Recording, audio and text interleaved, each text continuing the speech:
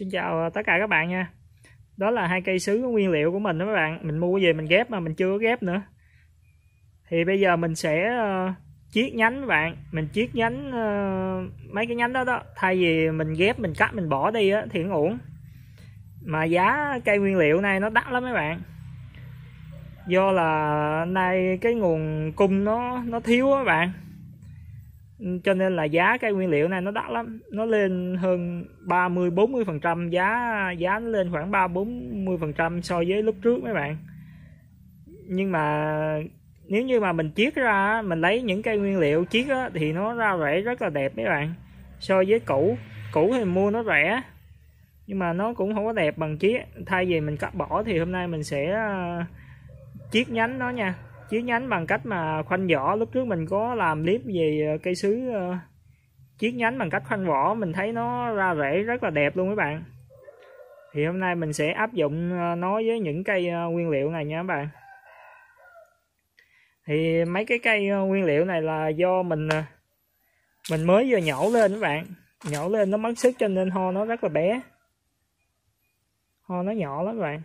Nhưng mà cành nhánh nó rất là đẹp luôn cành nhánh nó rất là cao các bạn.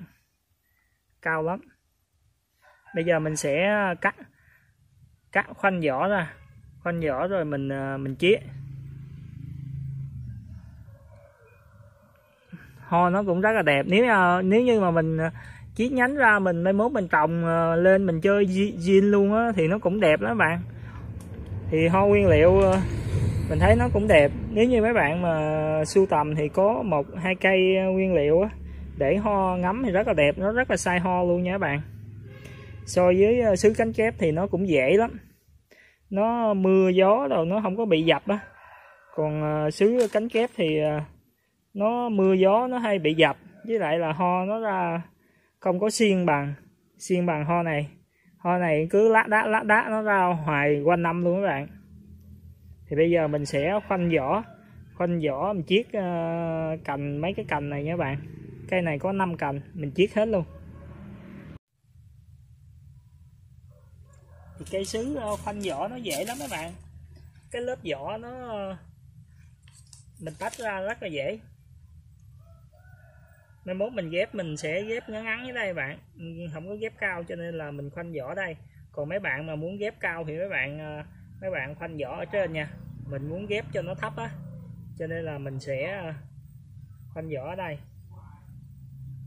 Hoặc là thấp hơn cũng được nữa bạn.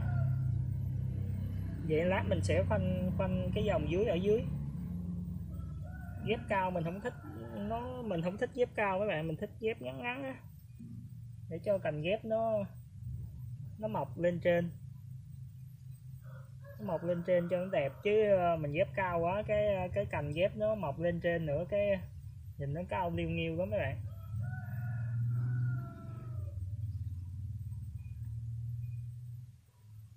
Rồi mình khoanh hai vòng ra, cái mình tách cái lớp vỏ này ra, nó rất là dễ tách luôn các bạn.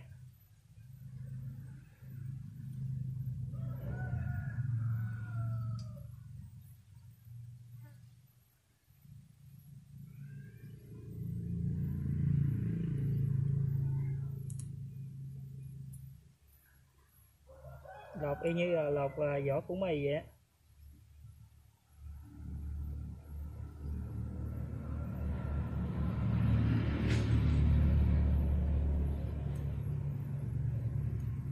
cái này do nãy mình mình chọc con dao nó nó, nó, nó sâu quá.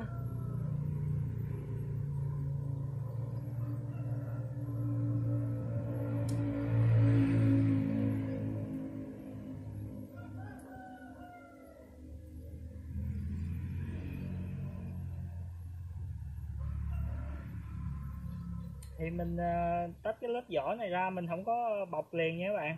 Mình để khoảng uh, để khoảng ờ, hai ngày á hai ngày sau rồi mình hãy bọc hãy bọc ni lông lại. Rồi rất là dễ luôn các bạn. Mình sẽ làm tiếp qua cái cành này. Thì mình thấy nó làm vậy nó cũng không có cực, mà mình có nguồn nguyên liệu để để mà mình sau này mình ghép lên hay là mình cứ để đó mình trồng chừng vài tháng nữa là mình có thể ghép ghép được trên những cái nhánh này luôn các bạn. Các bạn ờ, cắt, xả, tàn sao cho nó phân nhánh ra cho nhiều á. Mình có thể ghép lên luôn. Bỏ thì nó uổng. Lúc trước mình mua về cái ờ, mình cắt cái tàn này mình bỏ các bạn. Mình ghép, mình chơi ghép không à.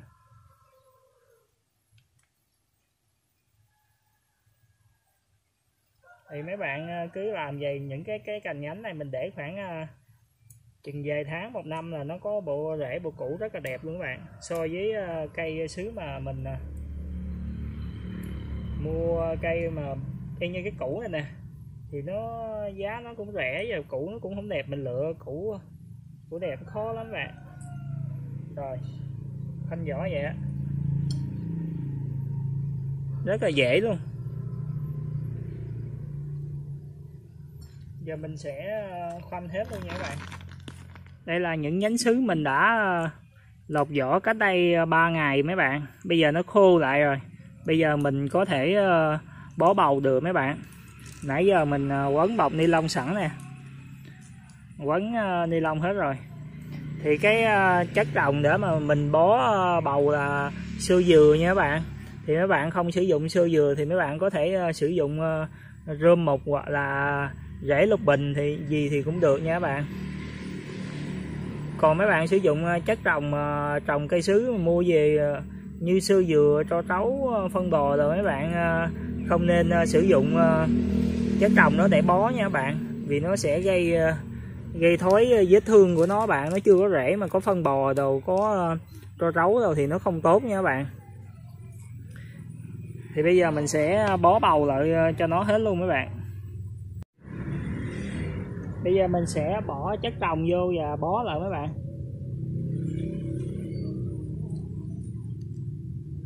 Cái này là những cái bọc ni lông mà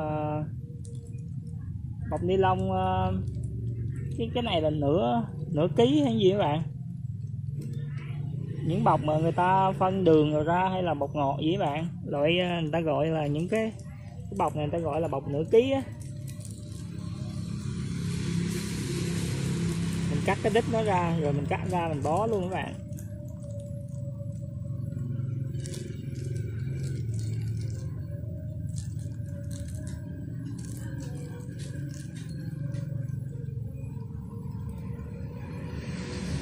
Mình bó cho nó đều đều ờ, xung quanh nó nó đều hết nha các bạn. Để khi mà nó mọc rễ ra, nó mọc đều hết. Tránh trường hợp mấy bạn bỏ cái bầu này không đều nè, thì nó sẽ mọc rễ, nó không có đều, nó mọc rễ có bên nha các bạn sẽ quấn băng keo đen lại.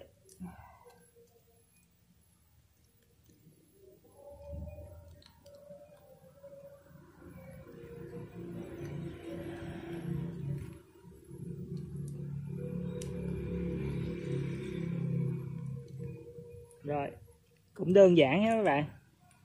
Rất là dễ làm luôn. Nhìn nó cũng đẹp lắm mấy bạn.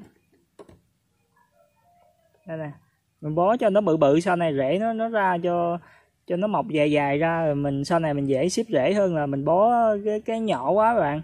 Rễ nó mọc uh, rối rối á mấy bạn rễ nó mọc rối á. Thì sau này mình khó xếp rễ của nó ra nha các bạn. Đó. Thì ờ, cứ như vậy ờ, bó hết thôi các bạn.